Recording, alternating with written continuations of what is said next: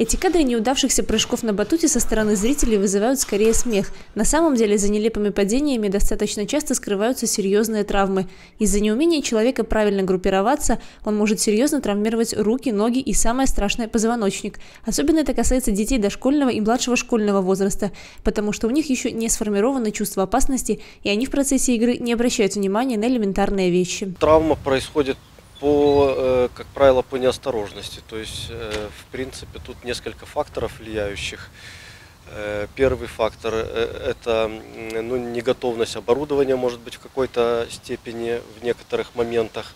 Вторая – это недооценка степени опасности ребенком и родителями. То есть есть дети, скажем так, подвижные, с таким холерическим темпераментом, которые стараются там какие-то сделать пируэты, сальто, э, более активные, толкают других детей и так далее. То есть вот такие дети, ну, как правило, являются и потом, э, в общем-то, пострадавшими на этом батуте, либо причиной травмирования других детей. Медики констатируют, травмы после таких экспериментов весьма серьезные. Причем это не только переломы и вывихи. Крайней точкой невозврата, к сожалению, может стать повреждение позвоночника. Если детей слишком много, естественно, там э, амплитуда движения во время прыжка достаточно большая, есть возможность получить э, как черепно-мозговую травму, то есть дети могут удариться головами друг об друга, могут головой об э, элементы оборудования удариться, которые хоть и защищены, но тем не менее все равно может произойти травма.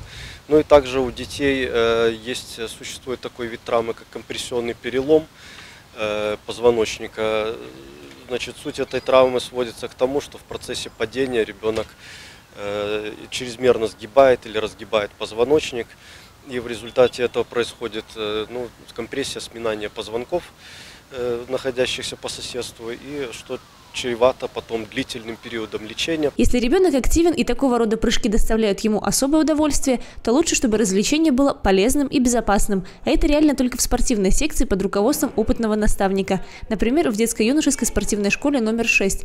Малыши сюда приходят с 6 лет и больше года учатся делать отдельные элементы на ровной поверхности, прежде чем начинают тренировки на батуте. Конечно, есть подводящие упражнения. Чтобы научиться сальто, надо сделать, научиться кувыркам, научиться элементарным прыжкам на батуте. Все кисет на спину, на живот, три четверти на спину, через голову получить. Потом только сальто делается. Вот сразу сальто не обучается в любом случае. Есть страховки, лонжа, маты поролоновые, страховочные. Вот это все используется для обучения прыжков. Каждый элемент здесь оттачивается отдельно. Ребенок учится правильно группироваться, поэтому занятия ему приносят только удовольствие, даже если они проходят 5 дней в неделю. Я любил очень от батутов прыгать. Я увидел у, у моего друга, он занимался батутом, я тоже захотел, я пошел на эту секцию, и мне там очень понравилось. Поделись, наверное, мечтой своей, вот как спортсмена, вот есть ли какие-то желания вот на будущее? Я хочу научиться делать три вперед.